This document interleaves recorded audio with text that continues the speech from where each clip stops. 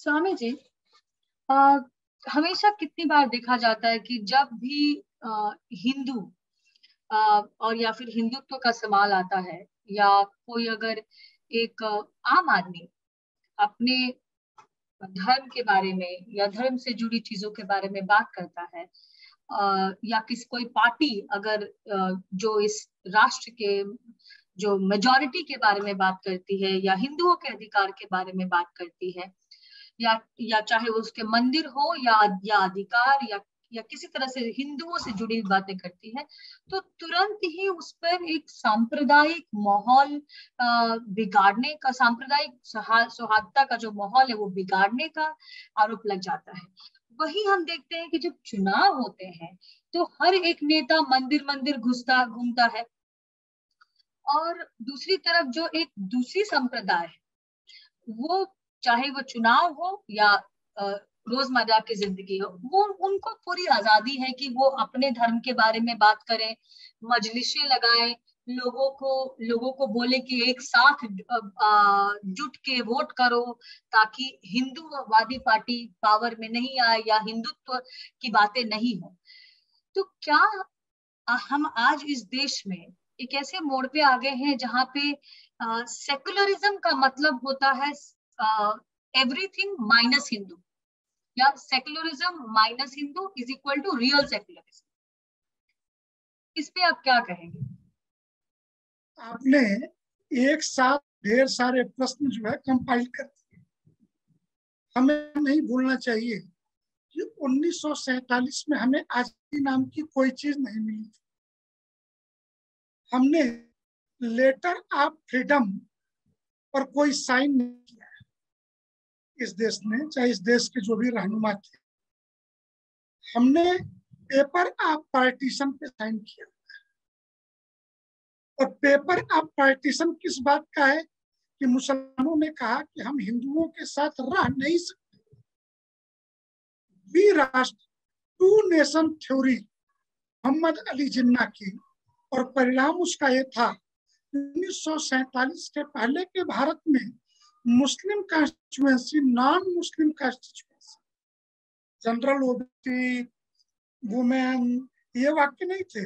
आप थे ये मानते थे ये देश मुसलमान और गैर मुसलमान में बटा हुआ है।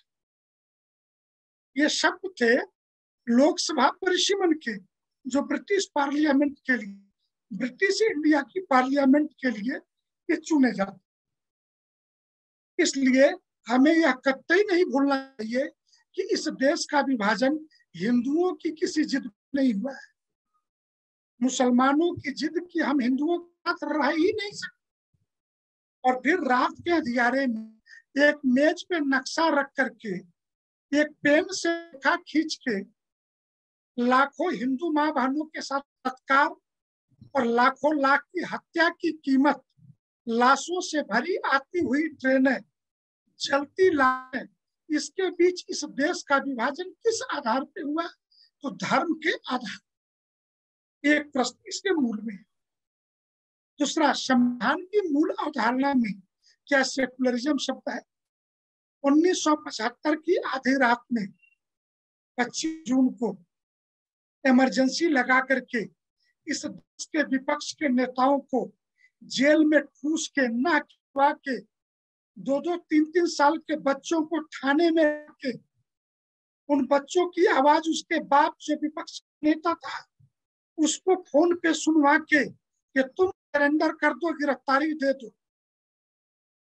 जेल भेज करके कोई विपक्षी बाहर नहीं था तो श्रीमती इंदिरा गांधी ने संविधान में सेकुलरिज्म शब्द को किसी पार्लियामेंट ने पास किया था।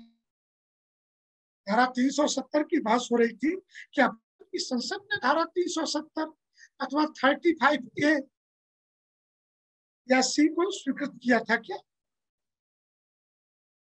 तो इस देश में इतने घपले हुए, इस घपले का मूल कारण था कि इस्लाम नाम पे सोवियत संघ की परिस्थिति को देखिए। 89 में सोवियत संघ बिखरता है। तो सात परमाणु संपन्न इस्लामिक राष्ट्र उसमें से पैदा होते हैं। नौ ग्यारह टुकड़ों में टूटने के बाद सात परमाणु संपन्न इस्लामिक राष्ट्र पैदा हो। और हिंदुस्तान के टूटने में एक परमाणु संपन्न इस्लामिक राष्ट्र पाकिस्तान पैदा होता है और वो टूट करके बांग्लादेश से अलग राष्ट्र बन जाता है। इसके बाद हिंदुस्तान के हिंदुओं के लिए सामुदायिक शब्द हमारे लिए गौरव का शब्द है। हम अपने संप्रदाय, अपनी परंपरा, संप्रदायगत आचरण, संप्रदाय के आचार्य, जैसे षड दर्शन, प्रत्येक दर्शन स्वयं में एक संप्रदाय है। उसके आचार्य और उस संप्रदाय के नियम का पालन करना हम सांप्रदायिक हैं। एक स्वाभिमान का शब्द है। जैसे उदाहरण के लिए, राम नाम है। राम का नाम सत्य है इससे क्या आपको इनकार या मुझे इनकार है। लेकिन कोई दूल्हा सच करके निकल रहा हो और आप कह दीजिए राम नाम सत्य है तो क्या गति बन ली है? हमने एक शब्द को वोकेजन विशेष से किसी कार्य विशेष से जुड़ा। उसी प्रकार इस देश में वाम के गुर्गों ने साहित्यिक गुंडागर्दी साहित्यिक बदमाशी करते हुए कुछ शब्दों को गाली बना वो गाली थे नहीं। गाली किसे खाते हैं? ये मेरी माँ है और ये मेरे बाप की वाइफ है। इन दोनों शब्दों की मर्यादा थी तो आप कह आप कह रहे हैं कि अगर किसी को सांप्रदायिक कहा जाए तो उसको बुरा नहीं मानना चाहिए। आप ये कह रहे हैं? मेरा मानना है कम्युनल और सांप्रदायिक। अंग्रेज़ी के सोलह अठारह सौ शब्दों की दुनिया में हमको लपेटने की वो कोशिश न करें। उनके पास आज भी बनाने के लिए चावल को पका देते हैं तो भात हो जाता है। न उनके लिए भात के लिए शब्द है न चावल को पकाने वाली बेली के लिए शब्द है। आज भी उनके पास नहीं है। आज भी कढ़ाई के लिए उनके पास पैन है। वो फ्राई पैन हो चाहे टी पैन हो। वो कढ़ाई नहीं पैदा तो मेरा जो मेरा मेरा सवाल था। खेल में नहीं मेरा सवाल ये था। धर्म के संप्रदाय को ना फंसाए। मेरा सवाल ये था चाहे आप उसको कम्युनल कह लीजिए या सांप्रदायिक ना कहिए पर एक एक तरह से जो सेलेक्टिवली मतलब हम वो सारा चीज़ चुन लेते अगर हिंदू अपने धर्म की बात करता है या फिर आ, अगर एक भगवाधारी मुख्यमंत्री बनता है तो आप कहते हैं कि भाई अब तो माहौल बिगड़ जाएगा और देश में सांप्रदायिकता फैल जाएगी, दंगे हो सकते हैं, हिंदुत्व राज हो जाएगा, हिंदू राष्ट्र बनने की बात हो जाएगी और जो माइनॉरिटीज हैं उन पे उन पे बड़ी जातियाँ होंगी, अत्याचार होगा, उनका जीवन दुभर हो जाएगा। तो वो होता है। लेकिन वही चीज़ तब नहीं होती जब आप बात करते हैं कि हमको एक माइनॉरिटी रिप्रेजेंटेशन चाहिए। तो अगर वो माइनॉरिटी बोलता है, अगर वो अपने समुदाय को साथ में लेके आता है, उसके बारे में अलग अलग चीज़ें बोलता है, उनके लिए ग्रांट्स दिए जाते हैं तो वो सांप्रदायिक नहीं होता। ये भी बात होती है कि क्यों इस देश का प्रधानमंत्री एक मुसलमान नहीं होना चाहिए या क्रिश्चियन नहीं होना चाहिए? तो वो चर्चा सांप्रदायिक नहीं होती, वो चर्चा एकदम सौहार्द की हो जाती है, उसको लेबल किया जाता है। मेरा कहने का मतलब ये था कि क्या आज हम हिंदुस्तान में जिस तरह की, का माहौल है, क्या सांप्रदायिक या फिर अगर हम कहें कि सेकुलरिज्म सेकुलरिज्म का मतलब है कि हिंदुओं को हटा के जो भी बच जाए वो सेकुलरिज्म है।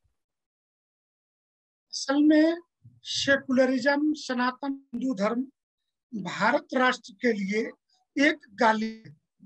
मैं पूछूँ की आबादी वाला लक्षद्वीप में एक पटेल प्रशासक क्यों नहीं हो सकता? भारत राष्ट्र ऐसा है ना 2010-11 में वहाँ गांधी जी की मूर्ति भेजी गई। तो बुद्ध परस्ती है मूर्ति को लगाना तो राष्ट्रपिता की मूर्ति लक्षद्वीप में नहीं लग सकती। यह राष्ट्र सेकुलर है तो क्यों नहीं लग सकता है? जम्मू कश्मीर के अंदर हिंदू मुख्यमंत्री नहीं हो सकता। ये सेकुलर कहा जाएगा। लेकिन हम कहें उत्तर प्रदेश में भगवाधारी मुख्यमंत्री हो गया तो सेकुलरिज्म खतरे में आ गया। असल में ये दोगले वर्ण संकर लोग हैं। इनकी समयानुकूल परिभाषा, उदाहरण के लिए भारतीय संविधान में अल्पसंख्यक की परिभाषा क्या है? माइनॉरिटीज आज तक नहीं डिफाइन है। सुप्रीम कोर्ट बार बार नोटिस दे रहा है ग्यारह सदस्यीय संविधान बेंच का डिसीज़न है कि भारत सरकार अल्पसंख्यक की परिभाषा तय करे। ये पत्र हम नहीं लिखा था। आप अल्पसंख्यक की परिभाषा बताइए। संयुक्त राष्ट्र संघ का चार्टर क्या कहता है? अधिकतम तीन से पाँच फ़ीसदी की आबादी जिसको भाषाई और नस्लीय दृष्टि से सेपरेट हो, वही अल्पसंख्यक माने जाएँगे। हिंदुस्तान के मुसलमानों की नस्ल तैमूर लंग की नस्ल है क्या? अबर की नस्ल है क्या? तो नस्लीय दृष्टि से अलग नहीं है। उर्दू की पैदाइश हिंदुस्तान में हुई है। उर्दू की कोई और लिपि नहीं है। अरबी और फारसी का हिस्सा नहीं। जब बशीर बद्र ने रात को कहा कि उर्दू हिंदुस्तानी ज़ुबान है। इस बात पे एक शायद महरूम हो गए। इंदौर वाले राहत बड़ी गालियाँ पकी थी बशीर बद्र साहब को।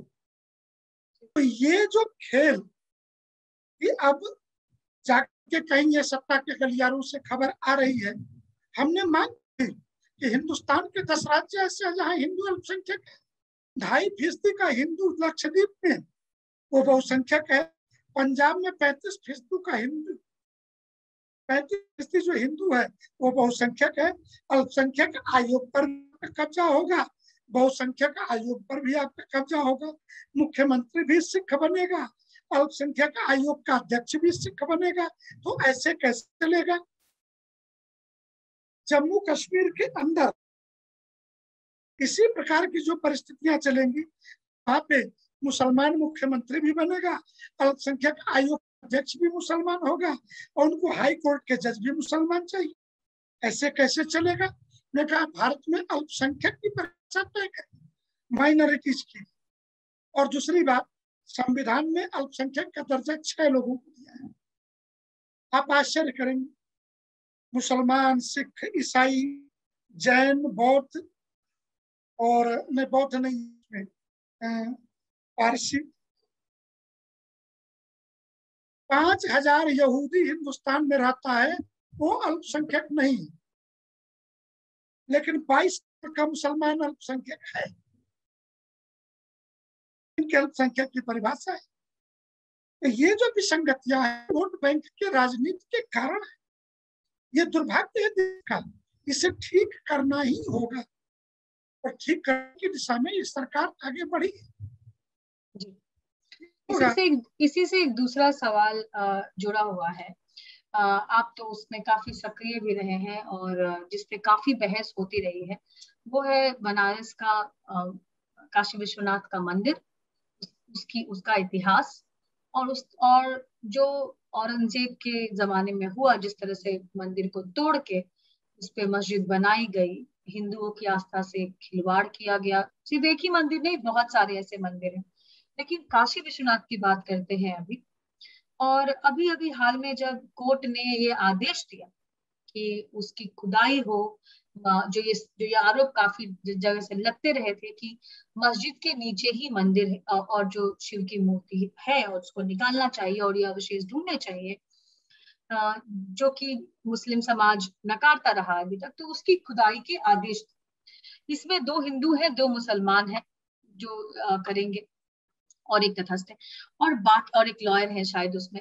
तो जो जब ये बात उठी तो लोगों ने बहुत बढ़ चढ़ के बोलना शुरू किया कि ये गड़े मुर्दे उठाने के हैं और ये सरकार का एजेंडा है कि जो एक सांप्रदायिकता माहौल खराब करके, दंगे फैलाने के और मुसलमानों के जो उनके धर्म स्थल है, उनको तोड़ने का राम मंदिर के बाद ये दूसरा है, दूसरा सरकार के निशाने पे है।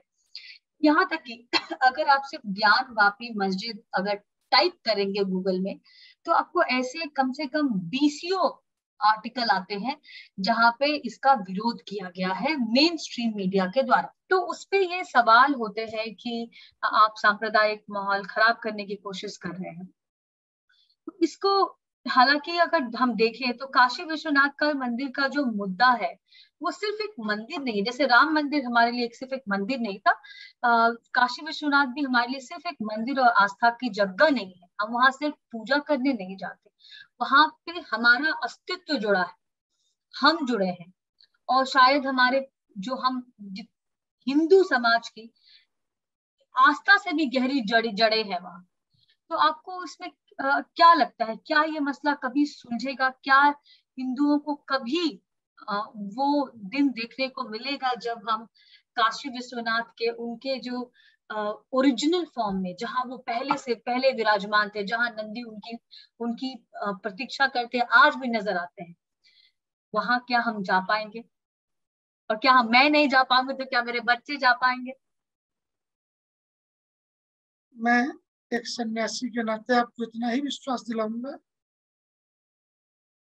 डॉक्टर हेडगेवार का एक मराठी वाक्य था, याची देही, याची डोला। इन आँखों से इसी शरीर से। और मेरा अखंड विश्वास, जहाँ इससे जुड़े हुए आपने जो प्रश्न खड़े किए, उस संदर्भ नहीं कहूँगा कि उन्नीस सौ इक्यानवे में स्पेशल प्रोविज़न वर्शिप एक्ट ला करके हिंदुओं को उनके अधिकारों से कानूनी प्रक्रिया, संवैधानिक रास्तों बंद करने का प्रयास क्या। हिंदुओं ने किया था? या कांग्रेस ने किया? आप संविधान के अंतर्गत भी क्यों नहीं पास करना चाहते? ये कौन लोग हैं दूसरी बात मेन स्ट्रीम मीडिया जो आपने शब्द प्रयोग किया विदेशी भाड़े के टट्टू जो भारत में फलते हैं और अपने को स्वयंभू मेन स्ट्रीम मीडिया कहते हैं।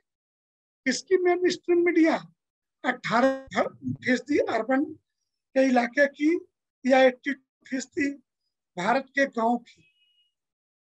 इस पत्रकारिता बरखा दत्त राणा अयूब एक वो और कौन मुस्लिम महिला है? जिसने क्या नाम है? जिसकी भी वायरल हो रही थी।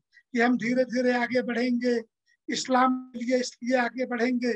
जो लोग शाहीन बाग में पत्थर के नकाब उतार के अपने चेहरे से भाषण कर रहे थे इस्लाम के नाम पर, ये मेन स्ट्रीम मीडिया है। अरे, ये देश के वो गद्दार लोग हैं और को लगता है कि हम काशी विश्वनाथ और मथुरा की बात सांप्रदायिकता भड़का रहे हैं तो बांका ज़िले में अवैध ज़मीन कब्जा करके चल रहे बत्तीस साल से मदरसे, पूरी छत उड़ गई और आठ मौलाना साहब जहन्नुम रसीद कर गए। उत्तर प्रदेश के बिजनौर से हज़ारों तलवार, सैकड़ों बंदूक जो बरामद हुई, ये क्या सांप्रदायिक सद्भावना की प्रति थी जगह जगह इस्लाम के नाम पर ईसा अल्लाह टुकड़े होंगे। भारत तेरे टुकड़े होंगे कि नारेबाजी करने वाले लोग? क्या हिंदुस्तान के राष्ट्रीय एकता और अखंडता की बात कर रहे हैं? हिंदू माँ बहनों को लव जिहाद के जाल में फंसा कर इसके लिए निश्चित राशियों का विभाजन मस्जिदों करके मौलाना, क्या हिंदू मुसलमान एकता के प्रति की बात कर रहे हैं? कौन है? और हमें वो सीख दे रहे हैं? कि इससे सांप्रदायिक सौहार्द बिगड़ेगा। अरे सांप्रदायिक सौहार्द की तुम्हारी परिभाषा इतनी है। मैं थोड़ा सा इस प्रश्न को लंबा खींच रहा हूँ। दो दुनिया की घटना हुई। बराक ओबामा आठ साल राष्ट्र राष्ट्रपति रहने के बाद एक विश्वविद्यालय के दीक्षांत समारोह में डोनाल्ड ट्रंप के समय में यह भाषण देते हुए कहता है कि अश्वेत असुरक्षित है। श्वेत अश्वेत के आधार पे। तो पूछा जाए, अगर इतने श्वेत असुरक्षित थे तो तुम अश्वेत थे। तुम पंथी हो मूलता, अश्वेत थे और तुम आठ साल राष्ट्रपति रहे तो अश्वेतों की सुरक्षा के लिए तुमने कौन सा उपाय किया? दुनिया जानती है तुम्हारे पार्टी की हिलेरी क्लिंटन। तो ट्रंप से चुनाव हारी थी, उसके ट्रस्ट के हॉस्पिटल में। ओसामा बिन लादेन का इलाज हुआ था। सेम वही पैटर्न हिंदुस्तान में 10 साल उपराष्ट्रपति रहा हामिद अंसारी, जो विदेशी राजनयिक रहने की अवस्था में हमारे आईबी रॉ के जासूसों की हत्या करवा देता है, तेरह जासूस हमारे मारे गए थे देश के। राष्ट्रभक्त नागरिक मुख्तार अंसारी से माफिया का वो चाचा है। भारत के प्रत्येक माफिया मुसलमानों का संरक्षक हामिद अंसार दस साल उपराष्ट्रपति की गद्दी पर रहने के बाद ऐसा कुख्यात माफिया जब यह कहता है कि हिंदुस्तान में मुस्लिम असुरक्षित है और हमको कहते हैं कि वातावरण खराब होगा और आप गड़े मुर्दे उखाड़िए आप टर्की के अंदर सौ साल पुरानी एक क्रिश्चियन लाइब्रेरी को मस्जिद में बदल सकते हैं। हाफिया जो लाइब्रेरी थी, आप बदल सकते हैं। आप गड़े मुर्दे नहीं उखाड़ रहे। लेकिन हिंदुओं के प्रयासूल निर्मूलनम सूल पाणी त्रिपथगा। रामकृष्ण शिव के मूल स्थान को देने में आपके बाप दादों ने थोड़ा हमारा अपमान किया। उसको देने में आपको कष्ट और घड़े मुर्दे उखड़ रहे तो ये दोगली शुरू से कह रहा हूँ। ये जो पैमाना है ना, पैरामी, ये इनके बहुत गंदे पैरामी ये टर्की का समर्थन करेंगे। सौ बाद 1920 के खिलाफत आंदोलन में हिंदुस्तान से महात्मा गांधी, महमूद कमाल अली पासा का समर्थन करें। खलीफ बदल जाता है। सौ साल बाद लगता है टर्की को कि हम फिर इस्लामिक राष्ट्रों के खलीफा हो सकते हैं। इसलिए भारतीय मुसलमान खलीफा बनाने के लिए और आमिर खान जैसा जिसकी बीबी को भारत में डर लगता है और वो आमिर खान के साथ जाकर के किससे मिलती है? तो टर्की के राष्ट्रपति के पत्नी से आप क्या बता रहे हैं? दूसरा भी एक उदाहरण बता रहा हूँ। इस सब के पीछे मूल जड़ में जब हम राजनीतिक सत्ता की बात करते हैं ना 11 नवंबर 2019 जब नरेंद्र मोदी सत्ता में वापसी किए 11 नवंबर को टर्की में कांग्रेस ने अपना एक अंतरराष्ट्रीय मुख्यालय इस अंतरराष्ट्रीय मुख्यालय की क्या ज़रूरत थी? इस्लामिक राष्ट्रों को यह बताया जा रहा है कि भारत का मुसलमान असुरक्षित है। उस असुरक्षित मुसलमानों को सुरक्षा प्रदान करने के लिए इस्लामिक देश हमें चंदा और उस चंदे के पैसे से भारत में कांग्रेस अस्थिरता पैदा करे, दंगे फसाद कराए, इसके लिए उल्टे सीधे बयान करे, जो वो कर रही है। कहीं पे कांग्रेस जिलाध्यक्ष राहुल गांधी के प्रिय गाय काट के मांस खाते हुए दिखते हैं। यही राहुल गांधी जैसे कि मंदिर में तो हिंदू लड़कियों को छेड़ने के लिए जाता है और कहीं खुद झाल बजाता हुआ पाया जाता है। और याद रखिए, सोमनाथ के मंदिर में गैर हिंदू के रजिस्टर पे साइन किया है विजिटर बुक में जो साइन है, वो गैर हिंदू के कालम में है, राहुल विंसी का साइन इसलिए इन तथ्यों को समझते हुए हमें व्यवहार करना ही पड़ेगा बहुत बड़ी बात कह दी आपको स्वामी जी। इसमें दो प्रश्न उठते हैं। पहला कि आप जैसे देख रहे हैं कि जो राजनीतिक दल इसे ये बात कोई छुपी नहीं है कि हर एक राजनीतिक दल कुछ ना कुछ तो अपने फ़ायदे के लिए इस्तेमाल करता ही है। जिस भी संप्रदाय का उसको सपोर्ट चाहिए होता है, उसके लिए वो अपनी राजनीतिक पैतरे खेलता ही है। तो लेकिन कुछ ऐसी चीज़ें हुई हैं पिछले जैसे कि कार सेवकों पे गोली चला देना जब यमुना लाल हो गई थी। कुछ उसके बाद जब राम मंदिर बनने की बात आई तो कुछ ना चाहे वो समाजवादी पार्टी के बार बार ये कहने पे कि राम मंदिर का एक ईट भी उठेगा नहीं राम मंदिर कभी बनेगा नहीं। और अगर बनाने की अगर उसके हालात बिगड़े तो शायद वहाँ पे आर्मी भी लेके आएँगे लेकिन राम मंदिर नहीं बनाएँगे। ऐसे माहौल को देखते हुए क्या संत समाज ये एक फैसला नहीं कर सकता कि हिंदू समाज का प्रतिनिधित्व हो, होने के कारण प्रतिनिधि होने के कारण उस, उसका झंडा लेके चलने के कारण क्या ऐसे राजनीतिक पार्टियों का हम बहिष्कार नहीं कर सकते?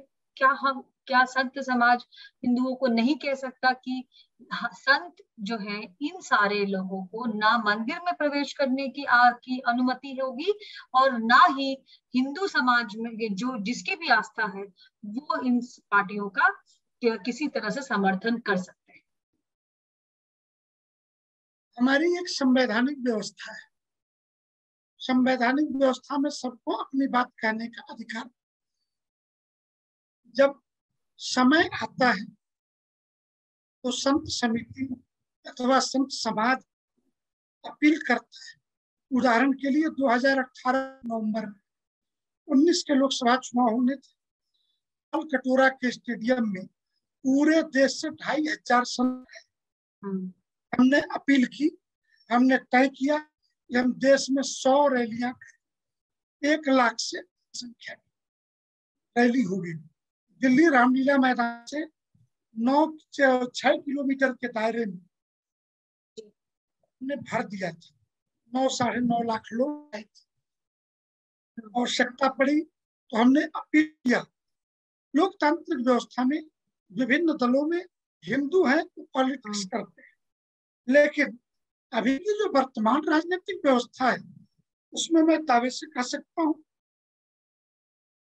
कि भारतीय जनता पार्टी से लगभग सभी राजनीतिक दलों को मुसलमान अपनी सुविधा के अनुसार उपयोग करता है।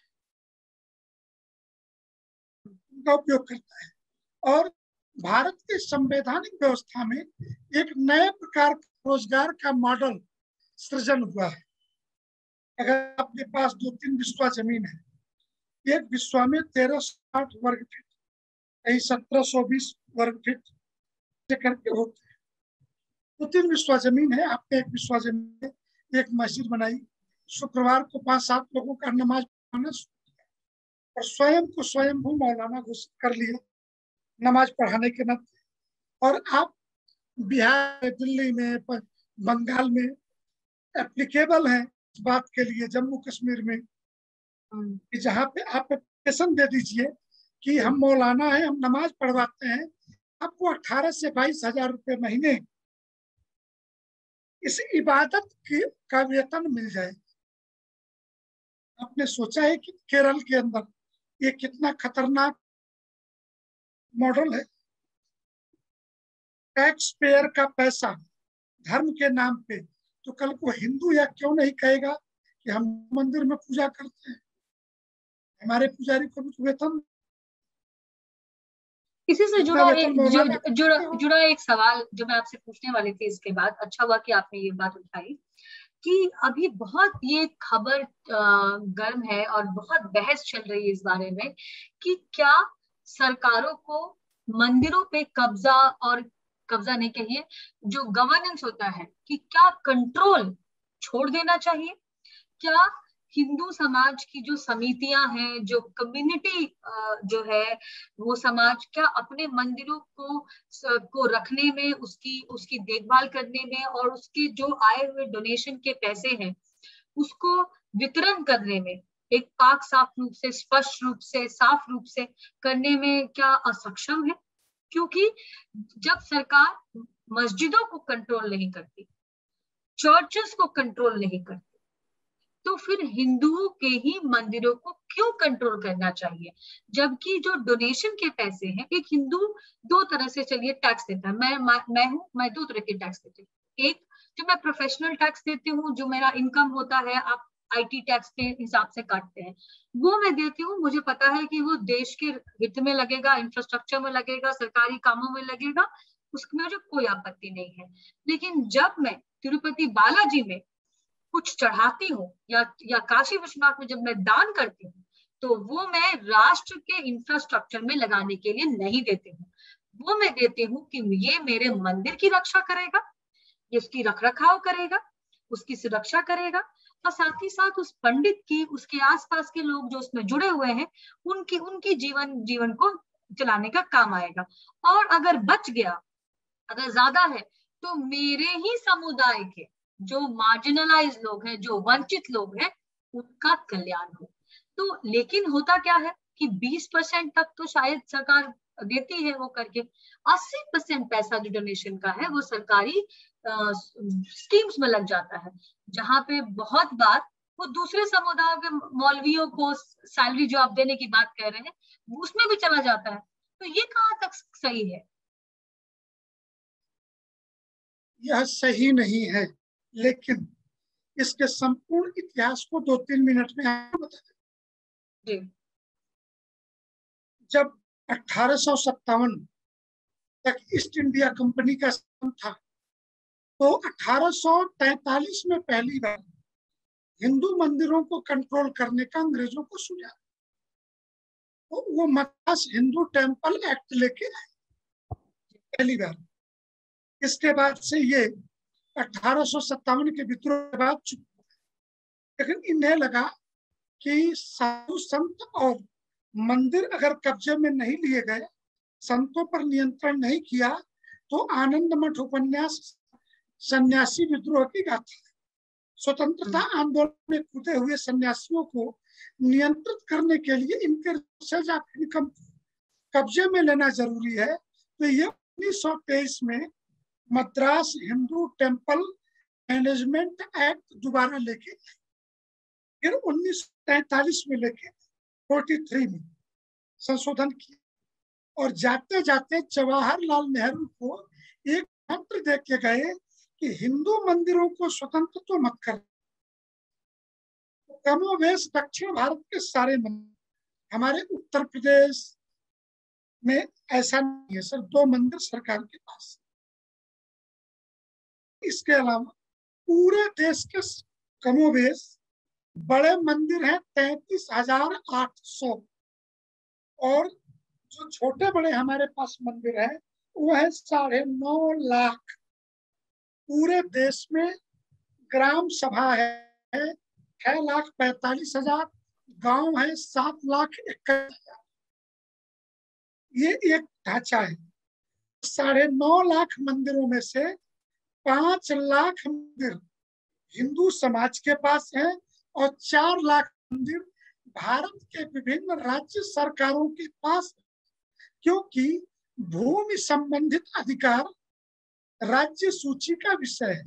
लेकिन यह उन्नीस सौ इक्यावन का एक कानून नेहरू, आप आश्चर्य करेंगी कि बावन में संविधान लागू हुआ और भारत पार्लियामेंट का पहला चुनाव 52 में होता है। उसके पहले ही कश्मीर के 370 35 है और Hindu temple and religious place endowment act 1951 जिसको चैरिटेबल अवेडमेंट एक्ट के नाम से भी लोग बोलते हैं, ये लागू कर दिया। इसके अंतर्गत इन्होंने हमारे सारे मंदिरों पे कब अब यह आंदोलन दक्षिण भारत को खड़ा हुआ है। जग्गी वसुदेव, श्री श्री रविशंकर के सारे लोग, बड़े लोग दक्षिण के संत खुल करके आने लगे हैं। केरल के पद्मनाभ मंदिर को पाँच लाख करोड़ के सोने की गिनती करा ली। हज़ार साल से केरल के त्रिपुणकोर राज परिवार के पास वो मंदिर था तो दस सोने की भी चोरी नहीं उन पुजारियों के बच्चे भूख हो गए होंगे, लेकिन अपने भगवान के मंदिर से दस ग्राम सोना नहीं चुरा। लेकिन गिनती सुप्रीम कोर्ट की निगरानी में हो रही थी और ढाई सौ करोड़ रुपए का सोना चोरी हो गया। सुप्रीम कोर्ट को समझ में आ गया कि राज्य सरकार कौन सा खेल खेल रही है। और अंत में उस बर्म परिवार को मंदिर वापस कर दिया स्वामित्व। पद्मनाभ का मंदिर, रावण त्रावणकोर परिवार को वापस मद्रास के 35 मंदिरों को सुप्रीम कोर्ट ने 2000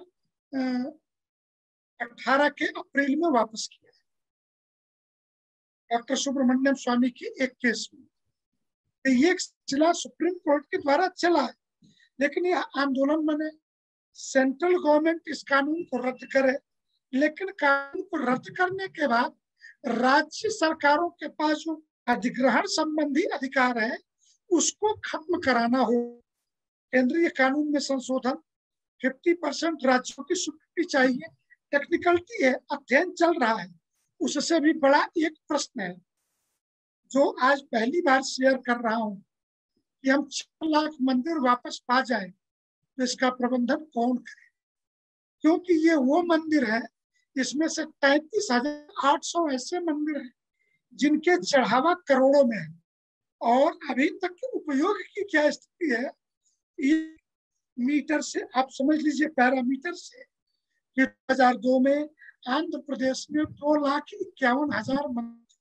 मैं पीछे छह साल के आंकड़े में नहीं जा रहा। बारह हज़ार नष्ट हुए। कुल चढ़ावा बहत्तर करोड़ 2002 में।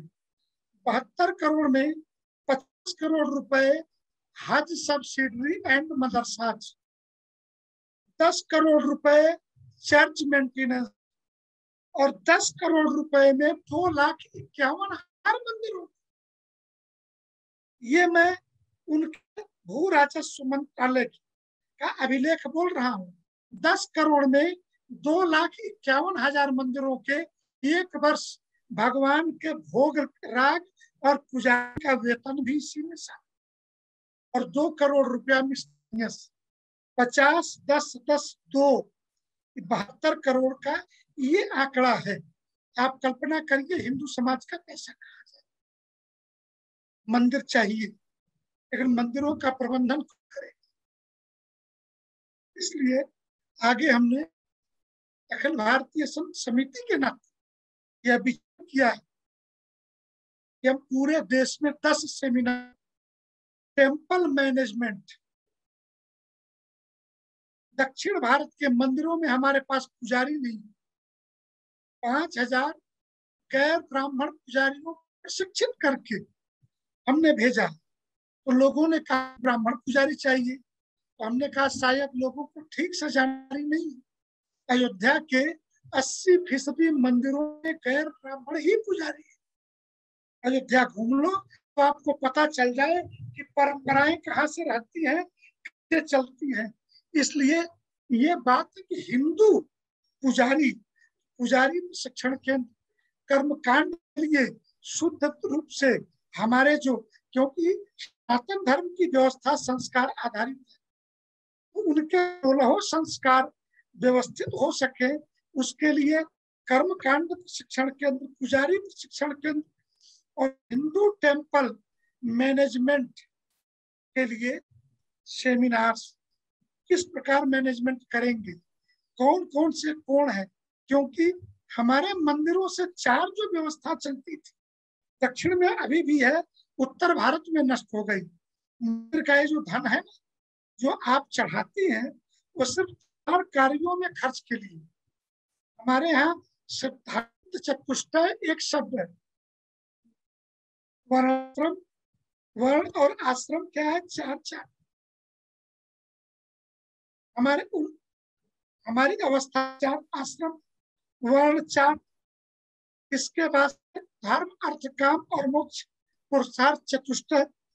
इस सब के बाद चार काम मंदिर से हमने तय किए मंदिर में जो आप चढ़ावा चढ़ाएँगे, एक पैसा। दूसरा, हर मंदिर से जुड़ी ज़मीन, उससे होने वाली इस धन का क्या करेंगे?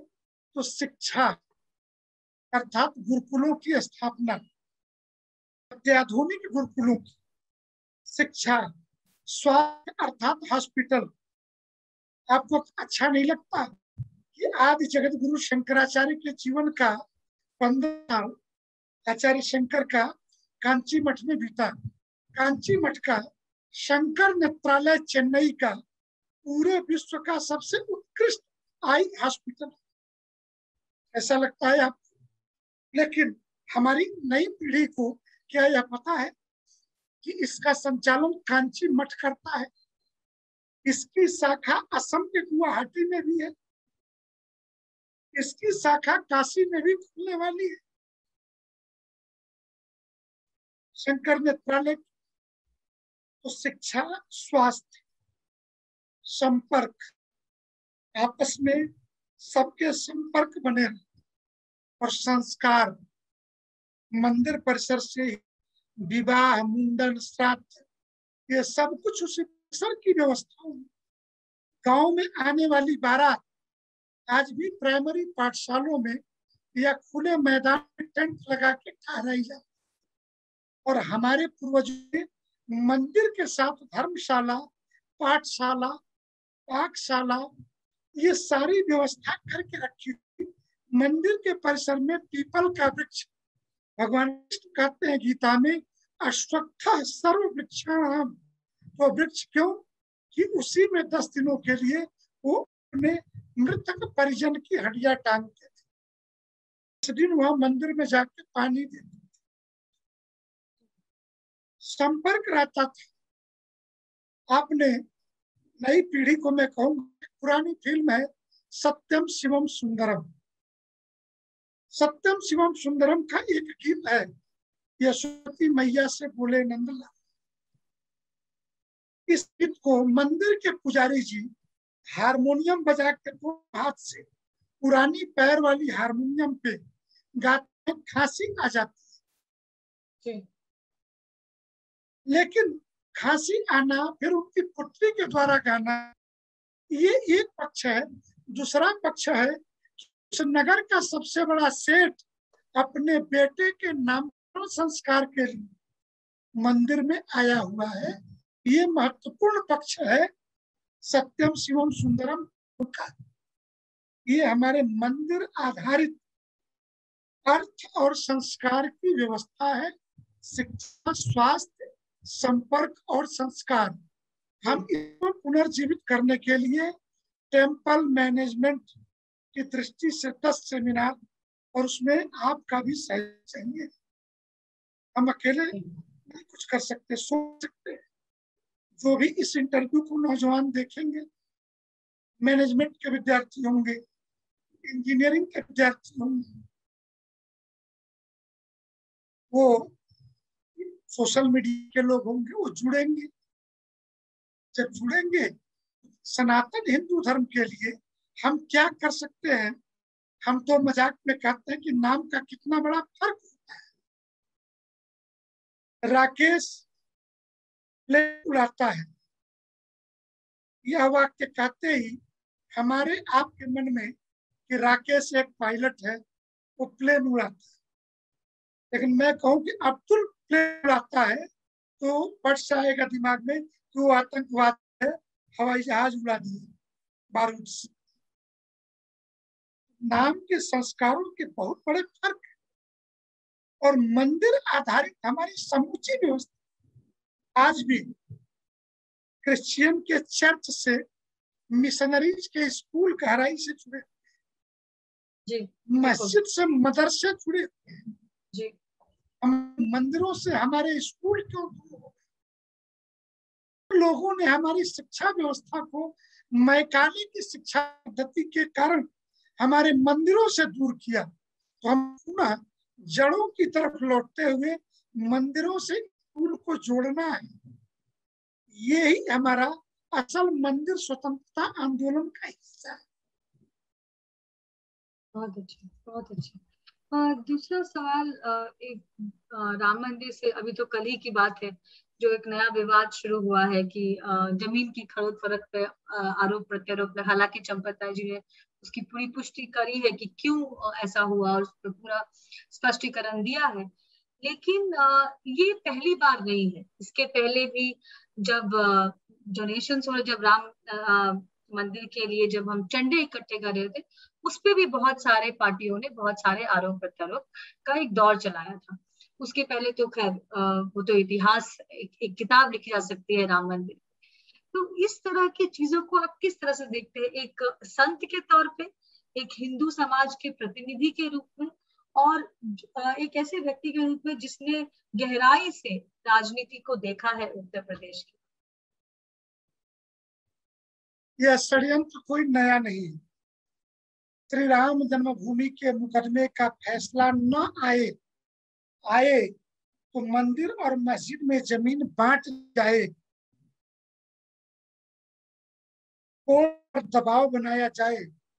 हाई कोर्ट ने ज़मीन को तीन हिस्से बांट दिया। ऐसा कैसा फैसला? कि रामलला की जन्मभूमि है। स्वामित्व रामलला का है, हम यह स्वीकार करें। लेकिन चूँकि इन्होंने मुकदमा किया था, इसलिए से इनको भी देते हैं। ऐसा कौन सा न्याय?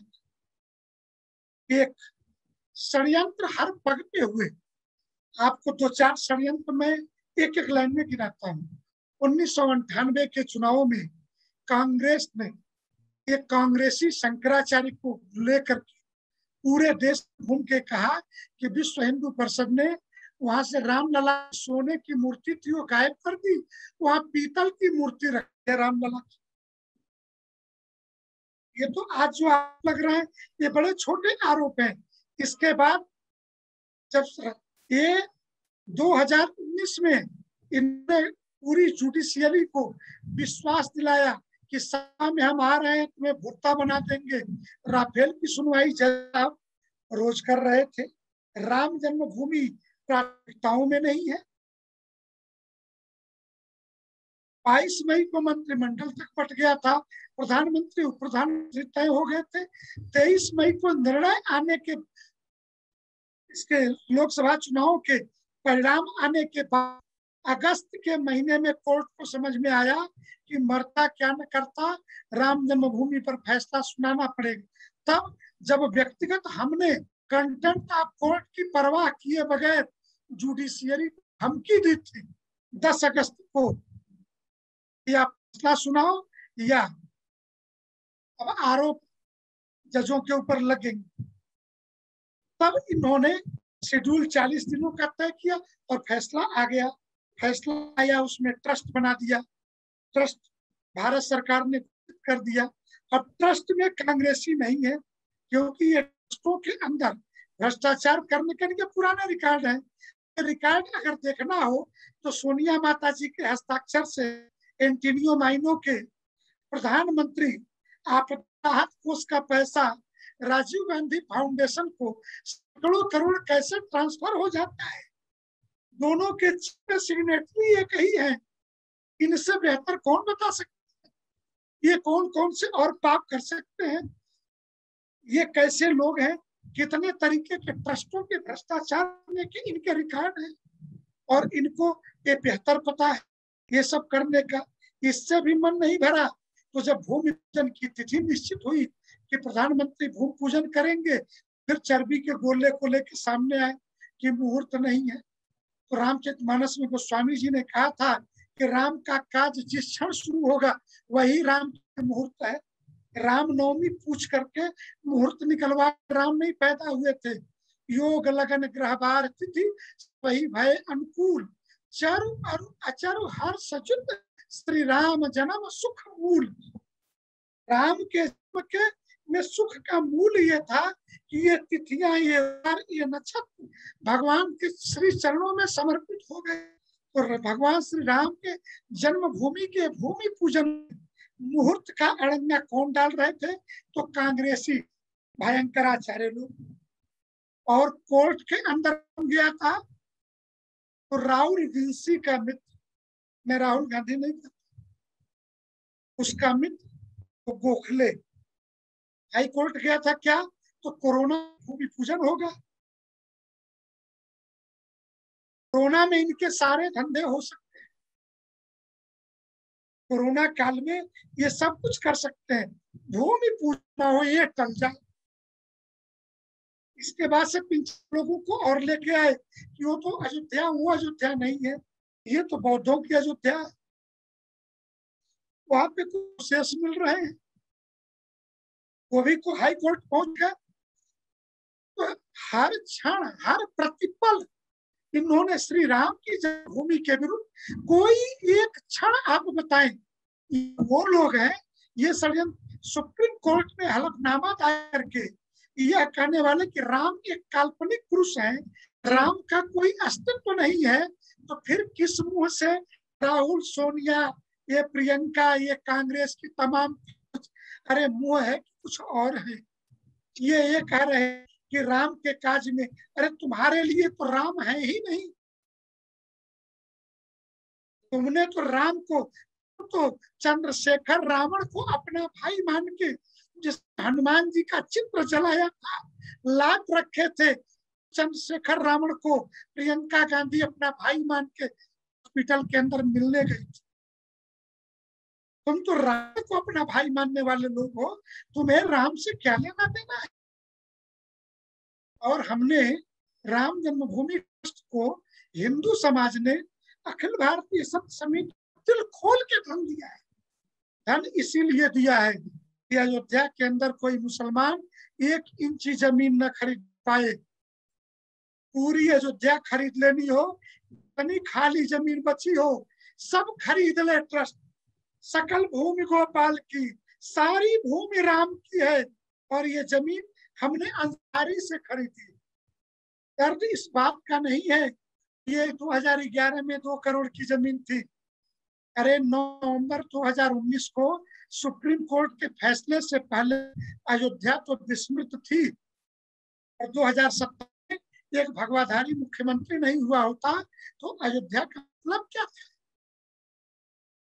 लोगों ने नालियों, गंदगी नहीं साफ़ कराई थी अयोध्या में। अयोध्या में मच्छर थे। अयोध्या के अंदर साधु किस परिस्थिति में रहता, आप एक दिन के लिए अयोध्या में रुक नहीं सकते। मरघट जैसा अयोध्या लगता। राम जाने के बाद, माँ जानकी के जाने के बाद अवध बचा अवध तो शोक की नगरी हो गई थी। वह अवध गुलजार हुआ। उस में आवागमन बढ़ा। अब अवध वाल्मीकि रामायण की कल्पना के अनुसार योगी आदित्यनाथ ने नई अयोध्या जब प्लानिंग कर दी, अयोध्या में श्री राम एयरपोर्ट हो गया। अयोध्या फोर लेन की सड़कों से जुड़ गया सिक्स लेन से जुड़ गया। अयोध्या में फाइव थ्री स्टार होटल नब्बे एकड़ में वेटिकन सिटी पचासी एकड़ में मक्का और एक सौ आठ एकड़ में भगवान श्री राम लला की जन्मभूमि का मंदिर ये नहीं पच रहा विरोध असल दर्द यहाँ है। दूसरे, वो अंसारी के नाम साढ़े पाँच बीघे ज़मीन जन्मभूमि के बारे में होती खुदा न खासते ये लाउड स्पीकर बाँध के अजान करने लगते तो हम आप क्या करते? इसमें आज नहीं तो कल सत्ता रहे न रहे ये क्षण भंग है। फिर मस्जिद बनाते कि नहीं बनाते? अठारह करोड़ नहीं, एक सौ अस्सी करोड़ भी दे के अगर खरीदना पड़ा अयोध्या में कोई भूमि, क्योंकि जो बेच रहा, कीमत तो वो लगाता है। और ये बात वो लोग राजनीतिक लोग बोल रहे हैं, जो दिल्ली में राहुल और सोनिया के साथ ऑक्सीजन सिलेंडर की कालाजारी करने वाले की, उस नवनीत कालरा की फ़ोटो चल वो आप ये बोल रहे हैं कि प्रेमेट्सवीर इंजेक्शन और ऑक्सीजन के सिलेंडर जिनके घर बरामद हो रहे थे, कालाबाजारी करने वाले लोगों के, कौन लोग हैं? इसमें ये दर्द वह दर्द नहीं है कि ज़मीन बिक गई, दो करोड़ की थी, बीस करोड़ में खरीद लिया। ये दर्द तो वो है कि अंसारी ज़मीन श्री राम जन्मभूमि तीर्थ क्षेत्र ट्रस्ट को चली गई। नहीं तो आज नहीं तो कल बाँस में भोपू बांधते। ये भोपू बांधने का सपना चकनाचूर कर दिया। श्री चंपत राय जी ने इसलिए इतिहास पुरुष हो गए। मेरी नज़रों में श्रद्धे पहले थे। अब तो स्तुति और वंदना की श्रेणी में पहुँच गए। और उनको जो भी जानता है, वो जानता है कि उन्होंने अपनी हड्डियाँ गला दी। ये राम मंदिर बनाने के लिए उनपे आरोप लगा रहे हैं। अरे दीदी, ये लोग क्या जाने पैंतीस साल जो अपनी ज़िंदगी फाइलों में जिया हो। तो मान श्रद्धेय अशोक सिंघल जी सार्वजनिक चेहरा होते आंदोलन करते लेकिन वकील कौन हो तारीख पर कौन खड़ा होगा? बहस में कौन बात जाए थी? जाएगी वकीलों का पैनल। सौ वकीलों की रात रात भर की बहस। कौन वकील? किस कोर्ट में क्या बोलेगा? ये कौन तय करता था? आदरणीय चंपत राय जी दधीची के कलयुग में मेरी दृष्टि में कोई अवतारी पुरुष है? इसको मेरी कुल उम्र अड़तालीस वर्ष, जिसमें से चालीस वर्ष संन्यास लेकिन मैं कह सकता हूँ कि तिल तिल करके अपनी हड्डियाँ गला करके श्री राम जन्मभूमि के मुकदमे में आज लोग सामने आकर के धन दे रहे हैं। अन्यथा कांग्रेस की सरकारों ने दसों बार ईडी इनकम टैक्स विभाग ने राम जन्मभूमि न्यास सत्ताईस वर्षों के तरासे गए पत्थर में, जो जल्दी मंदिर बन जा रहे नींव खड़ा होते मंदिर दिखने लगेगा।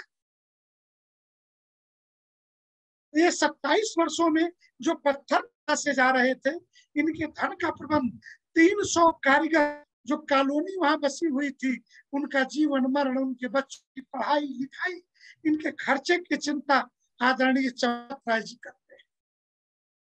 ये देश को नहीं पता है, ये युवा पीढ़ी को नहीं पता है कि कार से पुरम के अंदर, राम सेवकपुरम के अंदर रखे, ताजे गए एक एक पत्थर चंपत राय बलिदान की गाथा कहते हैं। से लेकर के पाई पाई की व्यवस्था। और उस व्यक्ति के मैं बस इतना ही कहूँगा एक सन्यासी के नाते कि आरोप लगाने वालों के। भगवान इतना शारीरिक कष्ट देगा कि अपनी ज़िंदगी से त्राही त्राही करके ये मौत मानते फिरेंगे और भगवान ने मौत नहीं दी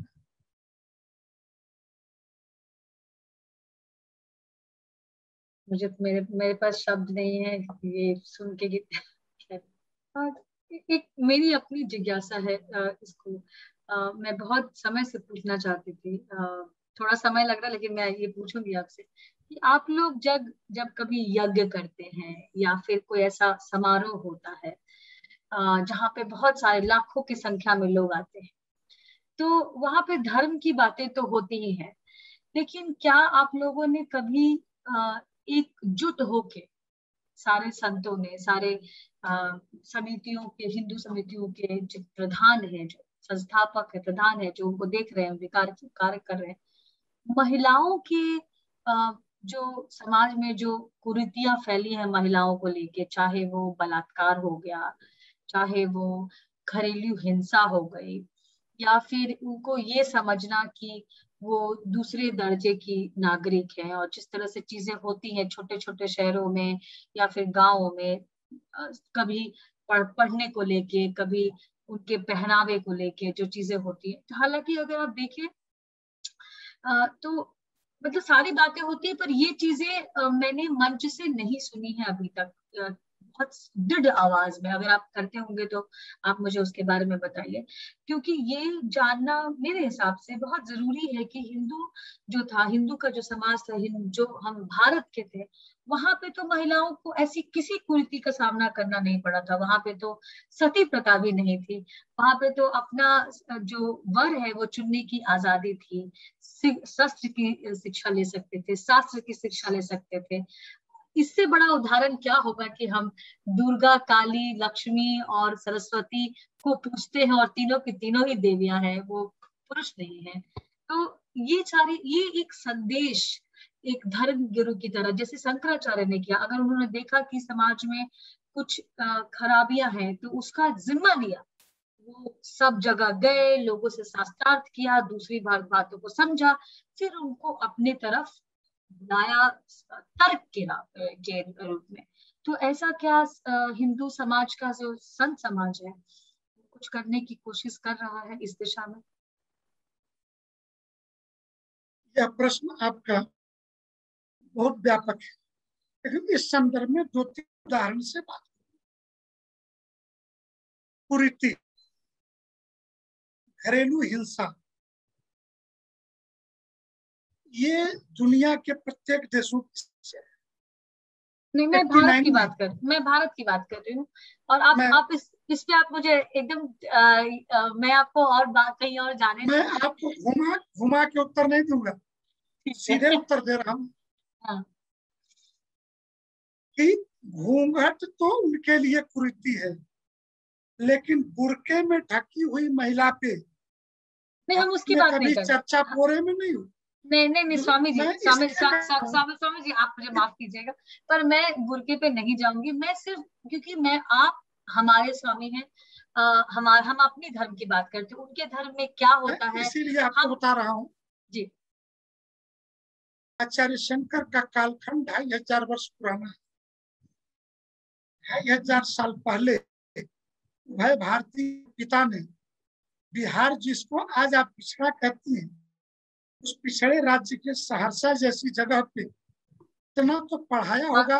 मंडन मंडन मिश्र की पत्नी शास्त्रार्थ कर सके शंकराचार्य से। तो शिक्षा दिया होगा। ढाई हज़ार साल पहले हमारे शिक्षा स्त्री शिक्षा की वर्तमान में बहुत बड़ी संख्या में महामंडलेश्वर विभिन्न अखाड़ों में महिलाएँ हमारे यहाँ मैं दर्जनों नाम गिना दूँगा, जो व्यास पीठ पे बैठ के प्रवचन करने वाली महिलाएँ हैं। व्यास पे बैठने का अधिकार अर्थात आप धर्माधिकारी हैं, आचार्य हैं। हमारे आचार्य पीठ पे बैठ के शास्त्रों की व्याख्या कर रही है। लेकिन क्या इस्लाम में, क्रिश्चियनिटी में एक पोप ढूंढ करके दिखा देंगी सत्रह कार्डिनल मिल एक पोप चुनते हैं। आज तक एक स्त्री कार्डिनल नहीं बन सकती इसलिए किसी मौल, कोई मौलवी किसी मदरसे में मस्जिद में नमाज़ नहीं पढ़वा सकती। वो लोग स्त्री रही बात, ये हिंसा बात चीज़ है। तो जब मैं एक वक्त पहले भी बोला, दबा के बोला कि स्वतंत्रता कैसी? सहधर्मिणी अर्थात मानसिक स्वतंत्रता। और एक स्वतंत्रता है, शारीरिक स्वतंत्रता। मैं कहीं जाऊँ, कुछ भी करूँ, तुम पूछोगे नहीं। महाभारत में एक ऐसा उल्लेख है, जब गंगा का विवाह शांतनु हुआ तो गंगा ने यह शर्त रखी कि मैं कुछ भी करूँ, आप पूछोगे नहीं। भीष्म के पैस के बाद शांतनु से बर्दाश्त नहीं हुआ था, सात पुत्र का वध हो चुका था। तो उन्होंने इस पर टोका तो यह एक विवाह एक कॉन्टेक्ट था सनातन धर्म में विवाह जन्मों जन्मों का बंधन है।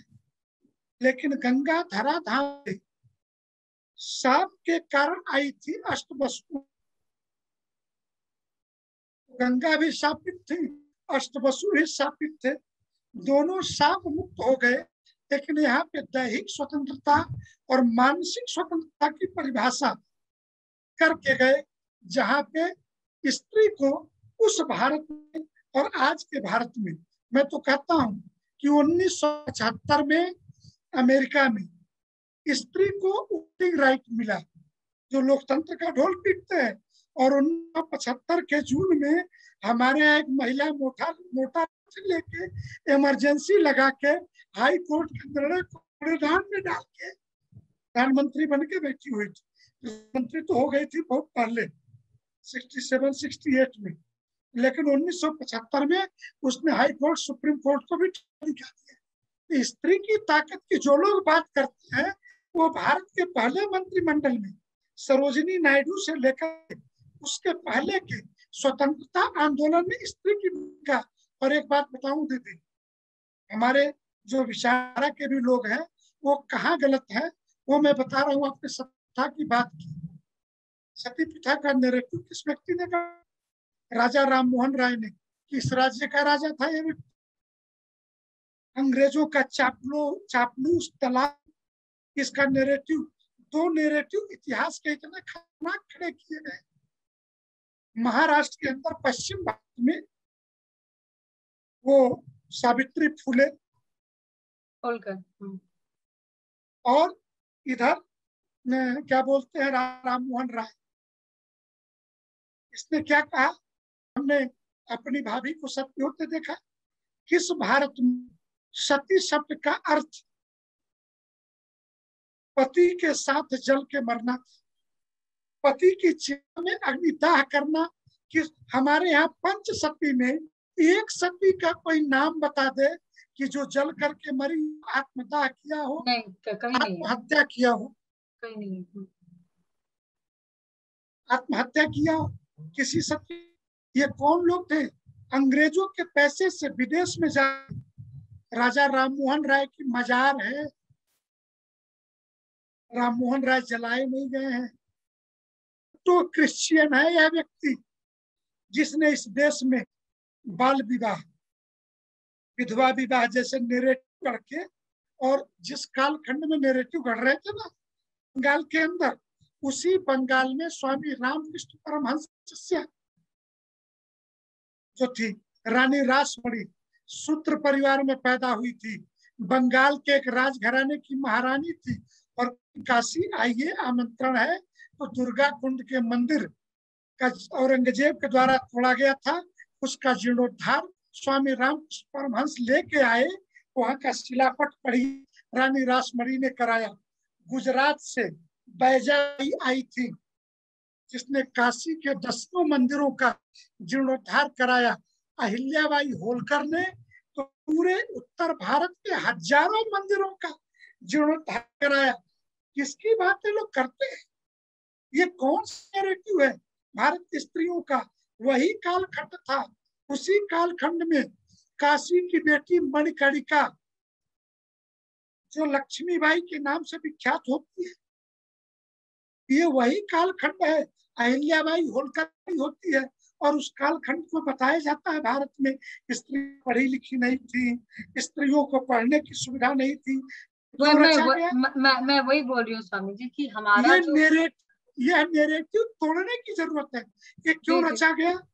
कि जब हम इसके प्रत्याक्रमण करते हैं अभी आपको बताऊँ पिछले साल पाकिस्तान में एक इंटरनेशनल सेमिनार हुआ। वहाँ के वैज्ञानिक और मौलवी दोनों बैठे। आठ दिन सेमिनार चला। कंक्लूजन क्या था? निष्कर्ष पे क्या पहुँचे? कि सर्वसम्मति से ये आया गया कि स्त्री स्तूपाई जंतु है। ये पाकिस्तानी सेमिनार का मैं लिंक दे दूँगा आपको उनका कंक्लूजन है। और आज भी हिंदुस्तान के सजा कोर्टों के अंदर जहाँ उनके इंटरनल निर्णय होते हैं पूरी दुनिया के इस्लामिक जगत में एक पुरुष के गवाही बराबर दो महिलाओं की गवाही। क्या आप हिंदू समाज में ऐसा सोच भी सकती हैं क्या? सनातन की व्यवस्थाओं में तो ये ये ये ये ये, ये सब स्वामी जी ये सब ये सब मैं मानती हूँ।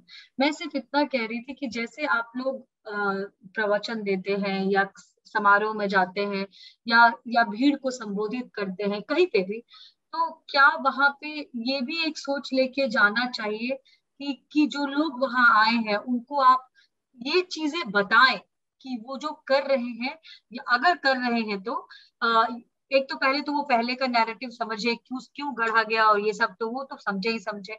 और साथ ही साथ ये भी समझे क्योंकि अगर अब वो हम हिंदू हैं और हिंदू धर्म को मानते हैं तो जो चीज़ें जो कुरीतियाँ हमें भर दी गई और आज अगर है तो उसको वो ना करें। बस इतना कहना चाहते थे मैं कि क्या आप उस बात को पता नहीं आपको कभी मौका मिला है किसी भी एनी पर्सन कथा कथाओं में जाइए तो आज भी सत्तर फ़ीसदी भीड़ उस हज़ारों की भीड़ में सत्तर फ़ीसदी महिलाओं की। दूसरे शास्त्र का एक वचन जिसको धर्म कहते हैं धर्म धारण करने का अधिकार पुरुष को नहीं इसीलिए हमारे यहाँ रजो निवृत्ति भी धर्म ही है। धर्म धारण का अधिकार पुरुष को है ही नहीं इसीलिए वह सह धर्मी पुरुष धर्माधिकारी होगा। बगैर स्त्री के। किसी पुरुष को पूजा का अधिकार नहीं प्राप्त है। उसकी बगल में अर्धांगिनी नहीं बैठी है। मैं अन्य संप्रदायों की बात नहीं कर रहा। मैं धर्म की आपसे बात कर रहा हूँ। और स्त्री अकेले इस सनातन धर्म व्यवस्था में इतनी सक्षम है कि मैं तो मज़ाक करता हूँ कि सनातन धर्म की व्यवस्था को समझो। यहाँ तलाक तलाका करके पिंड नहीं छुड़ा सकते हो। या तो मर गए अपने पति को यमराज यहाँ से भी छुड़ा करके लाएगी, अर्थात यमराज भी तुमको बीवी के चंगुल से नहीं बचा पाए। एक बार सनातन धर्म में शादी हो गई तुम्हारी तो यमराज की भी औकात नहीं है। अगर वो सच में सती है तो उससे यमराज भी उठा ले जाए। ये सनातन धर्म की व्यवस्था है। ये सीता की व्यवस्था है। ये राम कार्य है कि जहाँ सीता अपनी माँ से कह सकते कि मेरा समय पूर्ण हुआ तुम फटो में समा जाओ किसी इस्लाम किसी क्रिश्चियनिटी किसी अन्य संप्रदाय की व्यवस्थाओं में ये नहीं है। नहीं मैं मेरा मेरा कहने का बस मतलब यही था कि अगर हम और रही बात जिसको इस प्राचीन व्यवस्था से नवीनतम व्यवस्था, ये लफड़े जाति कहा है जहाँ पति पत्नी, घर में कोई गार्जियन नहीं, अभिभावक नहीं है कि जो दोनों के कान ऐट सके, वो जो होम वायलेंस है, उन्हीं घरों में है।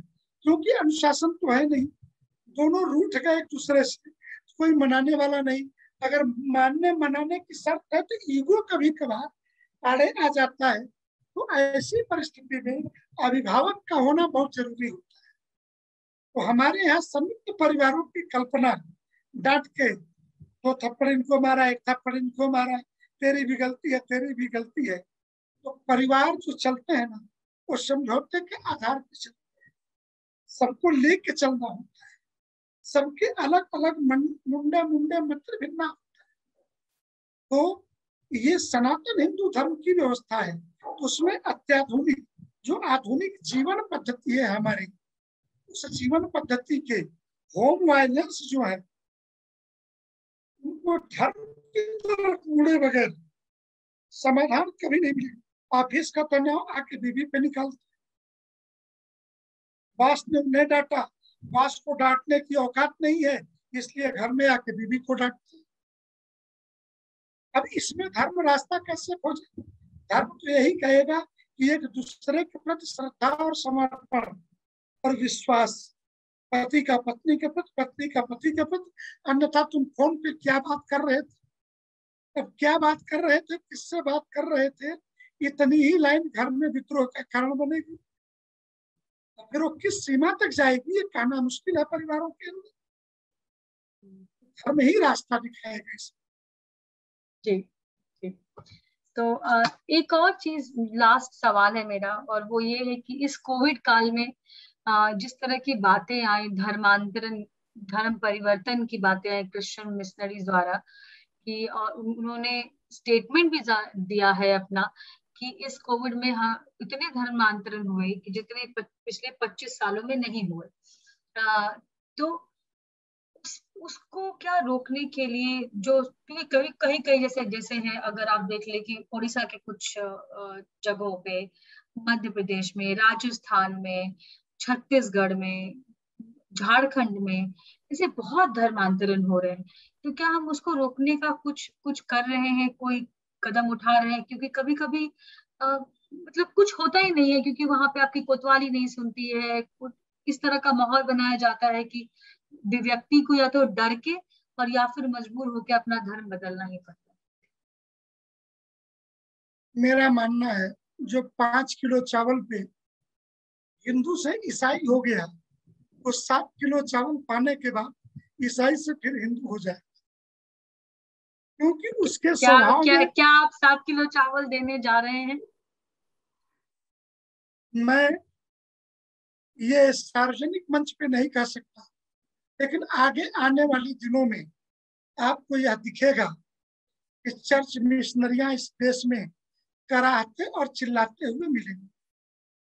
मुसलमान कि हमारा धर्मांतरण और अभी तो सीए और एनआरसी को लेके ही इतने परेशान है बेचारे। जब घर वापसी शुरू होगी, उन्हें कितना दर्द होगा? और रही बात, ये एक बड़े प्रोपेगेंडा का हिस्सा है। जिन जिन क्षेत्रों में उन्होंने कहा कि हमने चावल देकर धर्मांतरण करा लिया वो चावल खाने वालों के पास जब बाबा पहुँचे, साधु तो कहा, क्या क्या महाराज जी? उन्होंने कहा, हनुमान जी की जय हनुमान को ये देखिए, घर में मेरा कैलेंडर गुरु जी ये चावल देने आए, हमने ढक दिया, चावल भी ले लिए। ये भी हुए हैं। अब उनको अगर ये लगता है कि वो पाँच किलो चावल देके धूर्तता कर सकते हैं तो उस आदिवासी को धूर्त ना समझे। जो पीढ़ी दर पीढ़ी उन जंगलों में रह गया जिसने अपना धर्म नहीं बदला। जो भगवान राम का सेवक बन करके निषाद राजपुर के की सेना रावण से लड़ने चल दी वो इन पादरियों को बड़ा भारी भ्रम है कि हमारे दस पाँच किलो चावल पर बदल जाने वाले। इतना बड़ा ऐसा वर्ग है। मेरे पास तो ऐसी स्थिति है कि हम तो कोरोना काल में, देखिए मैं बहुत साफ़ कहता हूँ, किसी के मजबूरियों का समुदायांतरण किसी का पति मर रहा हो, उसकी पत्नी को कहा जाए इसकी दवा के लाख रुपए की ज़रूरत है, मैं दे रहा हूँ, तुम अपना धर्म बदल लो या किसी के साथ चली जाओ।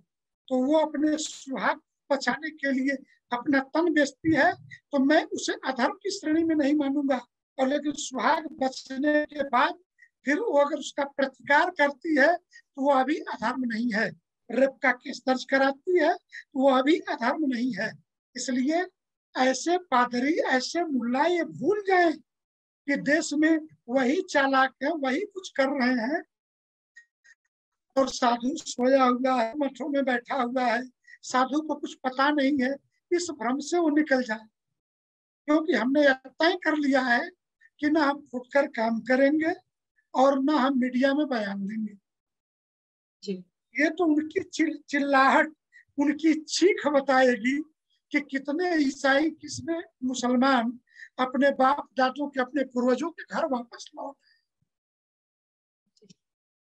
बहुत अच्छा लगा मुझे आपसे बात करके स्वामी जी आपने इतनी सारी चीज़ें बताई और ये जब भी एपिसोड टेलीकास्ट होगा तो मुझे उम्मीद है कि लोगों की आँखें खुलेंगी लोग भ्रांतियों से जाएँगे क्योंकि कुछ चीज़ें तो मीडिया में रहने के बावजूद भी आ, सामने नहीं आ पाती। तो आपने ऐसी ऐसी चीज़ें बताई। शायद एक तरह से अगर कहूँ तो आ, आत्मा को बिल्कुल झकझोर दिया। और एक बात आपकी खूबी ज़रूर है कि आप आप बातों को दबाते नहीं है मिला मिला के नहीं बोलते। आप सीधा बोलते हैं और बिल्कुल कटाक्ष बोलते हैं क्योंकि वो सच होते हैं। तो बहुत बहुत धन्यवाद आपका।